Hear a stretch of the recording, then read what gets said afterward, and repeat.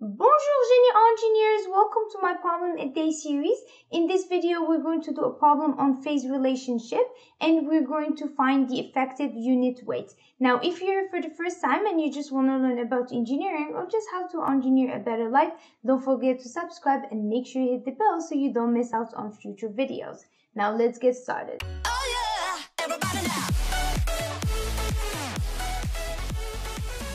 Given n, which is porosity, is equal to 0.27. Specific gravity is 2.11, and we need to find the effective unit weight uh, in pounds per cubic feet. Now notice, so if you guys notice the first two problems, so the first thing I do is I look at the term in the manual, and then once I do, then I try to uh, write that equation. That's the first thing I do. And then as you go, whatever it's given to you, let's say the specific gravity or if it's given to me the porosity then I might use the equation for the porosity. So this is a really good way of solving these type of problems. So for instance here I have effective unit weight. So the first thing I'm going to do is write down the equation for the effective unit weight. So it's right here effective or submerged. It's, it means the same thing.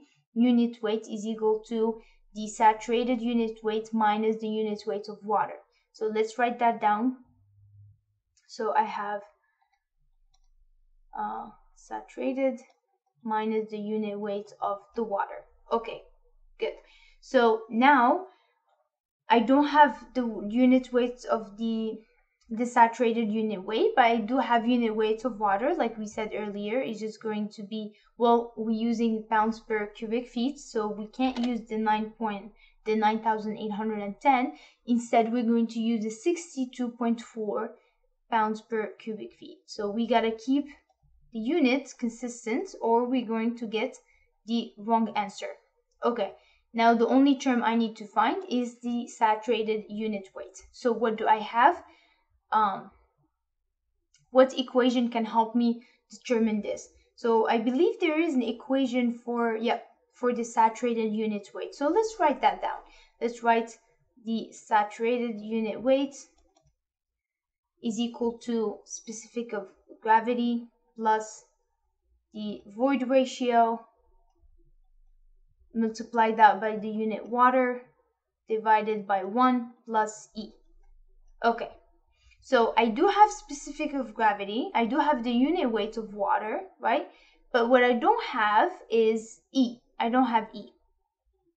But I do have N. And we do know that N and E, there's a relationship between the two. It's, it's given here. N is equal to E over 1 plus E.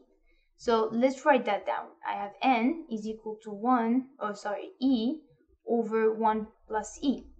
So if we rearrange this equation, we can easily find out, figure out E. Once you, we figured out E, then you can plug it in here, find your saturated unit weight. Once you find the saturated unit weight, then you can plug it in back here, and then you can just find the effective unit weight. So let's start solving for the, uh, let's rearrange this equation. So I have N times 1 plus E is equal to E. So let's factor in. So I have n plus n times 1 is n. Then I have plus n times e, which is ne. This is equals to e. Now I have n is equal to e, and then I'm going to take that to the other side, minus n times e. So uh, let's take e out. So I have e is equal to 1 minus n. Then finally, I have e is equal to n divided by 1 minus n. So n is equal to 0.27 divided by 1 minus 0.27. You should get an answer of 0.37.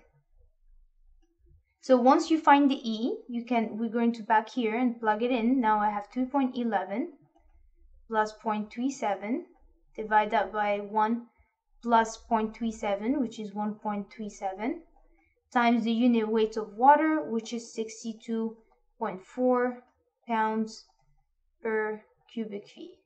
This should be times, sorry.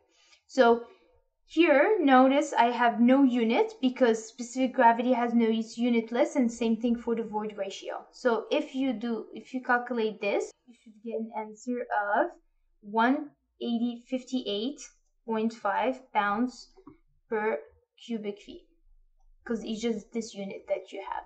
Now I can go back to this equation and I have the saturated weight, which is 158.5 pounds per cubic feet minus 62.4 pounds per cubic feet. And if you do this subtraction, you should get 96 pounds per cubic feet. And that should be your final answer. Okay guys, so don't forget to do the problems with me as you go because the best way to learn something is by doing it. And don't forget, problem a day keeps the F away. And if you guys have any questions, please leave it in the comments below. Don't forget to like, subscribe, and make sure you share with your friends who might find it helpful. Thank you guys for watching and I will see you soon. À la prochaine. Oh yeah,